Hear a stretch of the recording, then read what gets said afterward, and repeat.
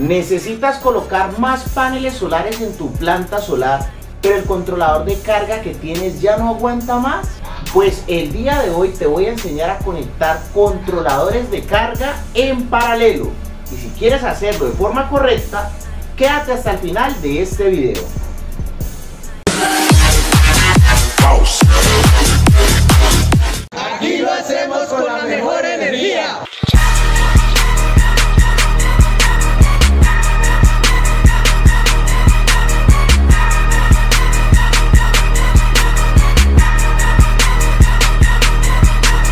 Aquí podemos observar dos controladores de carga MPPT de 200 amperios. Son controladores muy grandes.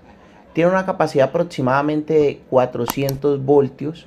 Y estos controladores están conectados en paralelo a este barraje. Es un barraje grandísimo porque son controladores muy grandes.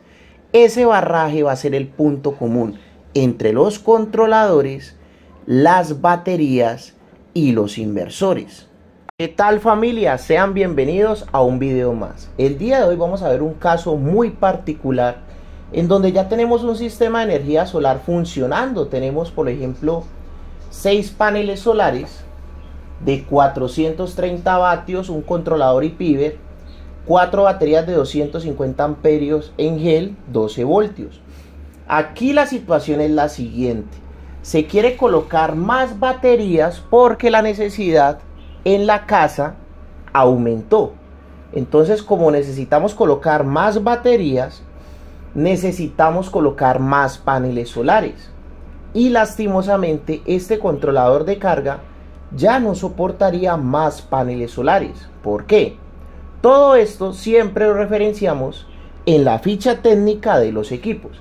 En la ficha técnica de este controlador y piver nos dice que nos aguantaría solamente hasta 6 paneles. ¿Por qué? Porque si está conectado a 48 voltios, aguanta 3000 vatios en paneles. Y si nuestros paneles son de 430 vatios, solamente nos aguantaría 6 paneles. Si ya tiene los 6 paneles ahí, no podemos hacer nada más por ese controlador.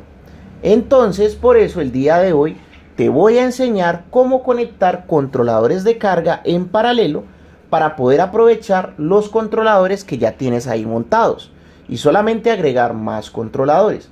Porque algunas personas dirían, no, este controlador ya no sirve, necesitamos uno más grande, pero realmente, ¿qué más grande? Un controlador gigantesco que sea muy costoso, no, aprovechemos el que ya tenemos y agreguemos otro. Entonces, lo primero que debemos de tener en cuenta es la ficha técnica del controlador, el análisis que estábamos haciendo. El controlador es de 60 amperios, nos dice que nos aguanta máximo 150 voltios en voltaje VOC de los paneles solares y que en potencia instalada en paneles solares nos aguantaría solamente hasta 3000. Hicimos el cálculo ahí rápido, abuelo de pájaro, y nos caben solamente 6. Y en este ejemplo tenemos los 6 ya instalados. Vamos a analizar la ficha técnica de los paneles solares que tenemos para poder determinar las características eléctricas y tener en resumen cuánto voltaje sería el máximo y corriente. Recuerden que este controlador nos aguanta máximo 150 y si en paneles estamos dando 97 estamos manejando la tranquilidad tranquilamente. Ahora bien, lo que tenemos que hacer es lo siguiente Vamos a comprar otro controlador de carga de 60 amperios y otros 6 paneles. De esta forma estamos duplicando la capacidad de nuestra planta solar. O sea, estamos agregando otros 6 paneles y otro controlador. No debemos solamente llegar y perar el cable y listo. No. Hay que comprar algo que se llaman barrajes o unas borneras que soporten la corriente que vamos a calcular, que te voy a enseñar a calcular a continuación. Conceptualmente es muy sencillo.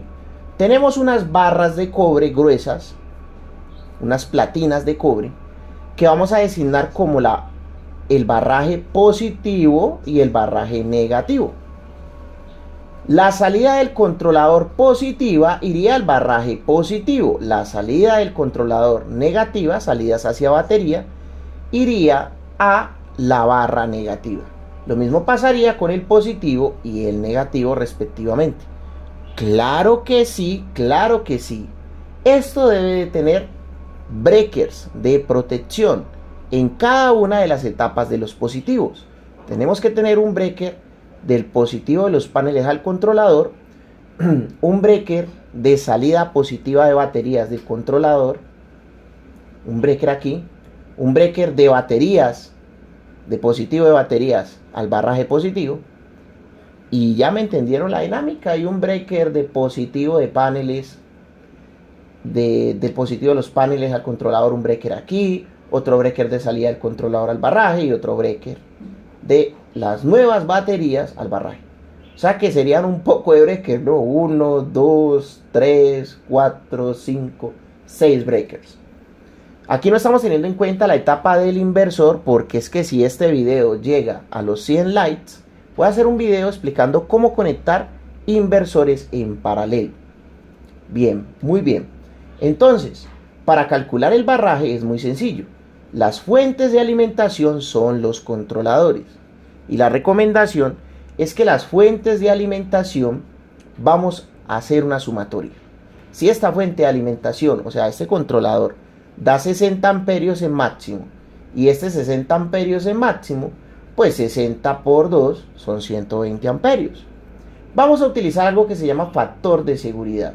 El factor de seguridad se recomienda un 25% por encima. Entonces multiplicamos 120 por 1.25 y la recomendación es que estas barras soporten más de 150 amperios. Recuerden que el barraje sería un punto común para las fuentes. ¿Cómo conectaríamos el inversor? El inversor lo conectaríamos de la siguiente forma. El positivo del inversor al barraje positivo y el negativo del inversor al barraje negativo.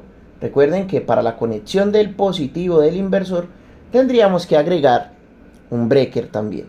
Y próximamente vamos a lanzar un video conectando inversores en paralelo. Recuerden que esta configuración es para plantas que ya van siendo más grandes. Proyectos mucho más grandes van a ver muy comúnmente que van a tener muchos controladores y van a tener un barraje bien robusto. Muchísimas gracias por haber participado del video del día de hoy. Recuerda que tienes derecho a tu beca del 80% por hacer parte de esta familia, por estar suscrito. 80% de descuento en nuestro curso virtual, cuatro clases en vivo, más un mes de acceso a nuestra espectacular plataforma de estudios. Muchas gracias por tu like, por tu apoyo, muchas gracias a todas esas personitas que nos están enviando super stickers y muchísimas gracias a las personas que nos envían donaciones por PayPal. Nos vemos en una próxima clase.